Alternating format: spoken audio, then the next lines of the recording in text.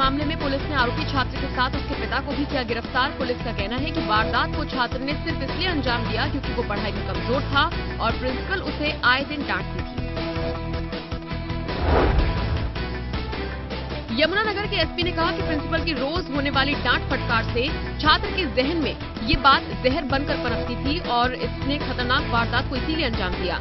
स्कूलों में छात्रों की काउंसलिंग की ज़रूरत है ताकि ऐसी वारदातों से बचा जा सके। खाने के बाद अंडा वाले के 40 रुपया मांगने पर बदमाशों ने मारी उसे गोली। घायल शख्स को अस्पताल में कराया गया भर्ती उसकी हालत नाजुक। कांग्रेस प्रवक्ता रणदीप सुरजेवाला ने झांसा देकर रेप पीड़ित परिवार से मुलाकात की। मुलाकात के बाद सुरजेवाला ने सरकार पर गंभीर आरोप लगाए, कहा कि वारदात के इतने दिन बाद भी पुलिस आरोपियों को पकड़ने में नाकाम है और सरकार मामले में आँख मूंदे हुए है। हरियाणा में बेटियों और महिलाओं के साथ पिछले कुछ दिनों से बढ़ते हुए अपराध को लेकर युवा कांग्रेस ने निकाला कैंडल मार्च। सरकार से की महिलाओं के लिए ठोस सुरक्षा व्यवस्था करने की मांग।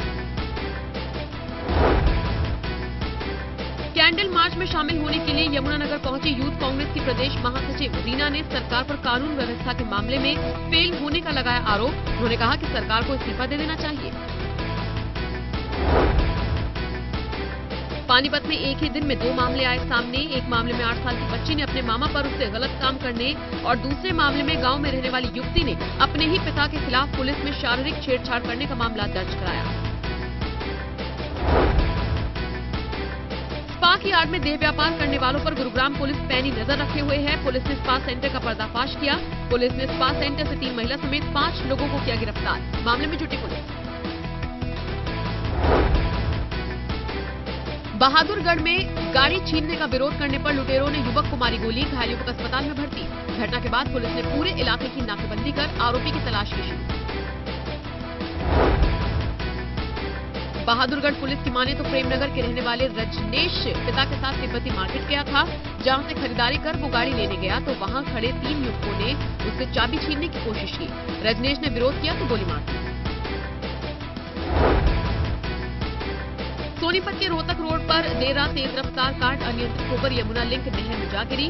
कार सवार एक युवक की मौत, एक को लोगों ने बचाया, तीन का अब तक नहीं कोई सुराग।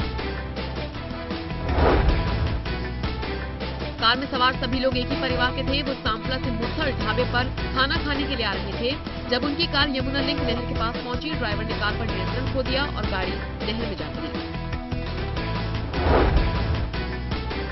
ब्लाइंड क्रिकेट टीम के वर्ल्ड कप जीतने पर सोनीपत के गाँव भैंसवाल में खुशी का माहौल है, क्योंकि टीम का हिस्सा भैंसवाल गाँव का रहने वाला दीपक भी है। टीम के विजयी होने पर गाँव वालों ने खुशी ज़ाहिर की। ब्लाइंड वर्ल्ड कप में भारतीय क्रिकेट टीम ने फाइनल में दो विकेट से पाकिस्तान को हराकर कप पर दूसरी बार कब्जा किया।